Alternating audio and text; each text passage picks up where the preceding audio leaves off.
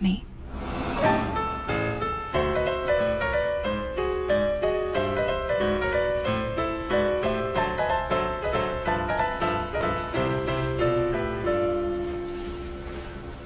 I met this truly remarkable girl in this really incredible town, and she skillfully managed to talk her way into my room.